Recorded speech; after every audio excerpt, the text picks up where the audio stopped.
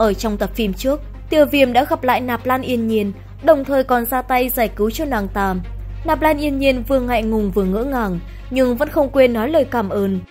Đối đáp lại lời khiêu khích của đám người đang vây công, Tiêu Viêm cho bọn chúng một cơ hội rời đi, nhưng mà bọn chúng lại coi đây là một trò đùa, vừa hài hước vừa có khẩu khí không nhỏ. Bọn chúng hô hào anh em xông lên, Tiêu Viêm sử dụng Tam Thiên Lôi động di chuyển với tốc độ sấm sét.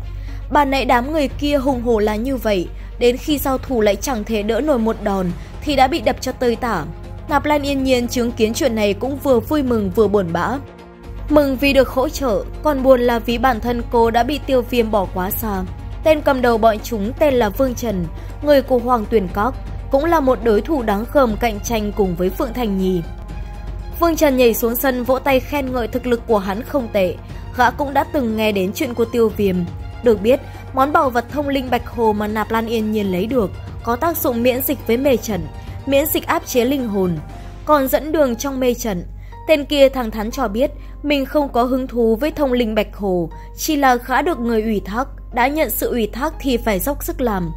Nạp Lan yên nhiên sau khi biết được lai lịch của Vương Trần liền lo lắng. Tên này có tính tình hiếu sát. Thực lực sớm đã là đấu hoàng đỉnh phòng, tiêu viêm không e ngại, hắn cầm huyền trọng xích tiến lên phía trước. Vương Trần thấy vậy cũng vỗ tay khen người hắn có quyết đoán, nhưng mà quá tự tin cũng không phải là chuyện tốt. Nói rồi gã cũng lao lên dùng nắm đấm đối kháng trực diện với huyền trọng xích. Chiêu thức của tên này quá kỳ lạ, có thể thi triển đấu khí xuống đất để tập kích. Rất may là hắn có dị hỏa áp chế ngược lại. Nhận thấy mình gặp khắc tinh cứng rồi, Vương Trần liền chọn cách quay xe rời đi. Đồng thời cũng không quên hứa hẹn sẽ chờ gặp hắn trên Thiên Sơn Đài. Việc trước tiên cần làm là tìm một nơi an toàn để cho Nạp Lan yên nhiên dưỡng thương khôi phục. Vì trước đó từng có khúc mắc và ân oán, nên lần này gặp lại, cả hai người đều có vẻ ngượng ngùng. Mục đích của Nạp Lan yên nhiên đến đây cũng là vì Thiên Sơn huyết đàm. Tuy rằng thực lực khó có thể chen vào top 10, nhưng mà chuyến đi này coi như rèn luyện cũng là chuyện tốt. Lần này tới Trung Châu, Nạp Lan Yên Nhiên và Vân Vận cùng nhau đồng hành. Bởi vì chạy đến nơi đất khách xa lạ nên lúc đầu còn bỡ ngỡ, tạm thời vẫn chưa tìm được nơi dừng chân. Nhưng mà cuộc sống vẫn rất tốt, tiêu viêm nghe xong cũng an tâm, hắn chủ động đề nghị Nạp Lan Yên Nhiên đi cùng.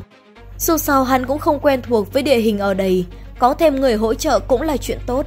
Hai người nhanh chóng lên đường, càng vào sâu bên trong sơn mạch thì càng có nhiều nguy hiểm, cần phải cẩn thận. Ngoài ra còn có dân bản địa ở đây, tuyệt đối không nên đắc tội với bọn chúng bởi chúng là một đám ma thú có tên phệ kim thử tộc. Tuy rằng thực lực chỉ là cấp 2, cấp 3, nhưng số lượng lại quá đông đảo. Tộc trưởng lại có thực lực tương đương với lục tinh đấu tông. Mời xuất tiến vào huyết đàm thì phệ kim thử tộc chiếm cứ mất hai vé rồi. Tiêu viêm đi tới trước mặt một cái mê trận, xung quanh đã tập trung rất nhiều người. Bọn họ không cách nào vượt qua mê trận đó nên chỉ có thể đứng yên gào thét. Trùng hợp là tên Vương Trần cũng có mặt ở đây.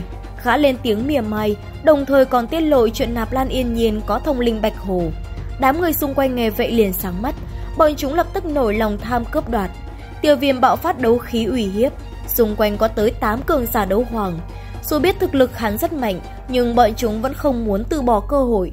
Một tên thanh niên lập tức động thủ chặn đường, còn hô hào mọi người xung quanh xông lên.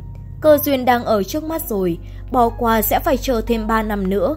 Năng lực của hắn có lớn thì cũng không thể so được với số người đông đảo ở đây. Cả đám nghe vậy liền lấy lại sĩ khí rồi xông lên, tiêu viêm rút huyền trọng xích ngăn cản. Nạp Lan yên nhiên cũng bị tấn công kịch liệt. Hắn muốn chạy tới giúp đỡ nàng ta nhưng năm lần bảy lượt đều bị ngăn cản. Cuối cùng, phải ném huyền trọng xích phá tan chướng ngại rồi lao đến trợ giúp. Hắn yêu cầu Nạp Lan yên nhiên đi vào mê trận trước, còn mình sẽ ở lại chặn đường. Cả đám đồng loạt lao lên, Tiêu viêm gồng mình bạo phát sức mạnh chém ra một luồng kình lực đánh cho cả đám nằm sấp mặt. Không còn chướng ngại vật nữa, hắn vừa quay người định tiến vào bên trong thì nghe được một giọng nói. Kẻ vừa lên tiếng có bộ dạng khá nhỏ bé, nhưng đừng vì điều này mà khinh thường. Ông ta gọi là Kim Cốc, thực lực đã đạt tới đấu tông.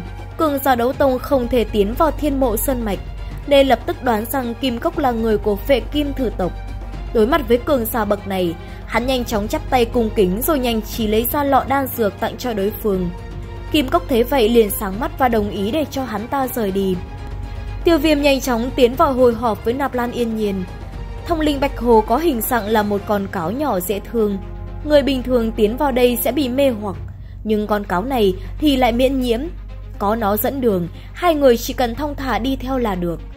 Trong lúc này rất nhiều người đã thông qua được mê trận để tiến vào Thiên Sơn Đài. Tuy có nhiều người vượt qua nhưng danh ngạch lại không nhiều. Tứ phương các đã chiếm 4 suất, vệ kim thư tộc chiếm 2 suất, chỉ còn lại 4 suất trống nữa. Dự định là sẽ có một cuộc tranh giành gay gắt. Mang danh nghĩa là có thông linh Bạch Hồ, nhưng tốc độ của Tiêu Viêm và Nạp Lan Yên Nhiên lại chậm hơn quá nhiều. Vương Trần mới chỉ đi trước vài phút, vậy mà hắn nằm được một giấc thong dòng. Còn Tiêu Viêm thì cứ phải đến lúc sắp hết thời gian mới xuất hiện. Sự có mặt của hai người làm cho nhiều người bất mãn vì bọn họ lại có thêm người tranh giành. Một lão già tên là Kim Thạch, tộc trưởng của phệ kim thử tộc đứng ra phát biểu. Cửa ải tiếp theo là trong vòng 30 phút vượt qua được công kích sóng âm trên các tượng đá để đi tới đích. Công kích tên ba âm công nổi danh là lợi hại, có thể bỏ qua phòng ngự bằng đấu khí để đánh thẳng vào tâm trí. Đấu hoàng gặp phải cũng khó mà chống đỡ. Xem ra lần này sẽ có rất nhiều người thất bại. Tiêu viêm cảm thấy loại công kích bằng âm thanh này có vẻ giống với chiêu sư tử hóa kim ngầm của hắn. Sau khi Kim Thạch tuyên bố bắt đầu, ngay lập tức có hai người bước lên tham gia. Uy lực của âm ba trận sẽ tăng cường theo số lượng người, đi một mình sẽ dễ dàng hơn, nhưng mà hai tên thanh niên kia vẫn muốn cùng nhau đi lên. Bọn họ sử dụng một loại đấu kỹ gia tăng tốc độ rồi lao vút lên phía trước. Cùng với hành động này, nhiều bức tường cũng đột ngột nhô lên và bạo phát các luồng sóng âm. Hai tên thanh niên trực tiếp bị đánh bay ra ngoài. Những người khác thấy vậy liền mất tự tin, thực lực mạnh như hai người kia còn không có sức chống. Đổi lại là bọn họ chắc chắn sẽ thê thảm hơn. Tiêu viêm ngỏ ý muốn đưa Nạp Lan Yên Nhiên đi qua, nàng ta sợ rằng sẽ làm vướng chân hắn nên từ chối. Nhưng mà hắn cũng biết sử dụng công kích bằng sóng âm, cho nên vẫn quyết định sẽ dẫn theo Nạp Lan Yên Nhiên cùng đi. Liệu rằng nam chính sẽ thành công hay thất bại? Các bạn hãy cùng chúng mình đón xem diễn biến tập phim tiếp theo nhé! Cảm ơn các bạn đã quan tâm và theo dõi. Xin chào và hẹn gặp lại!